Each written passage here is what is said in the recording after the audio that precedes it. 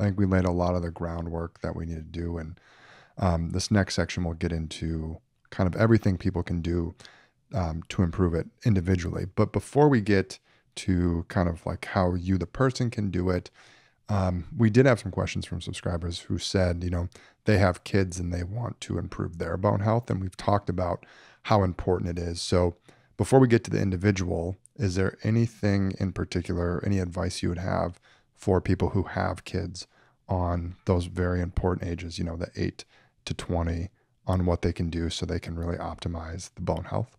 Yeah, I think this is very important. You know, I, I, when I stop to think about all of the things that, you know, a parent's got on their plate to try to help their kids with during this relatively narrow window that your kids are in your house and and and therefore somewhat amenable to your influence. Um, you know, I think the most important thing probably comes down to being adequately nourished and being very active, and in particular, being very active in things that load bones. So, one of the things that was a bit surprising to me was that running didn't have a greater impact on uh, BMD. So, in a moment, we'll pull up that figure, Nick, that I think is pretty interesting that shows all of the different sports and how they impact BMD. Now, I'm going to posit that the running one has a confounder in there. Because if you think about it, running puts a lot of force on muscles, right? I mean, especially when you think about the hips, which are two of the three bones that are attached to muscles that feel exper- that experience great force during running. So why is it that running where you're potentially at, at least at the knees experiencing 8 times your body weight with each impact, why wouldn't that do more? And I've been thinking about this for some time. And maybe somebody knows the answer, but my suspicion is that the confounder here is body weight and BMI, right? And that when you talk about elite runners, and usually these are studied in elite runners, they're very weight conscious, right? Running is running and cycling are the ultimate strength to weight uh, ratio sports.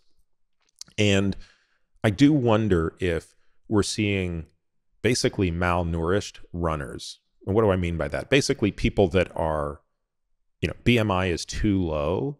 It might be perfect for being a runner, but it's too low for optimizing bone mineral density. So I guess this is a long winded way of saying running might not be enough. Um, so obviously, running's a great thing to do and it comes with a lot of benefit but you probably want to make sure that your kids, both boys and girls, are doing other sports that involve more power. So, probably things that involve jumping and actually lifting heavy things.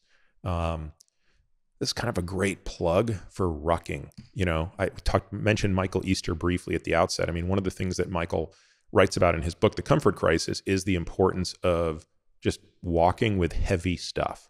So either doing a farmer's carry, doing a ruck, which I love. You know, I try to ruck five days a week. So it's, you know, backpack with heavy weight in it and just walking around and, and always trying to find a hill to walk up and down, kind of loading myself without the knee joints being susceptible to that.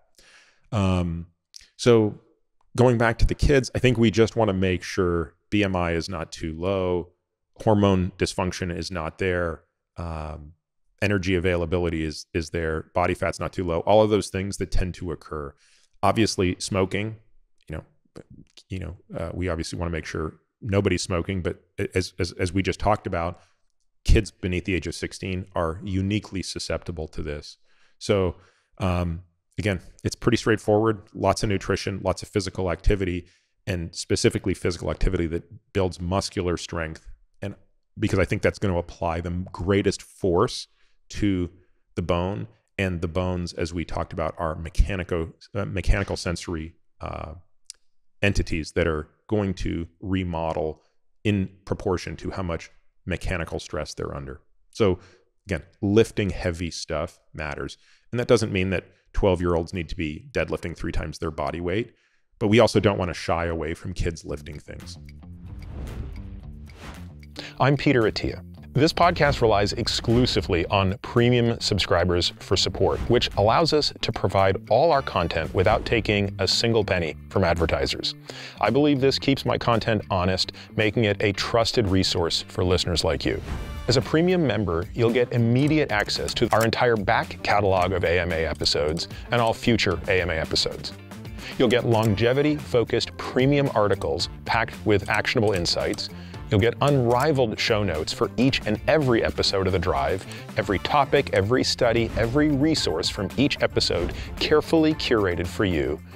You'll get quarterly podcast summaries where you'll learn my biggest personal takeaways from the previous 90 days of expert guest episodes and much more. This journey doesn't have to be navigated alone. We can take these steps towards a better, longer life together.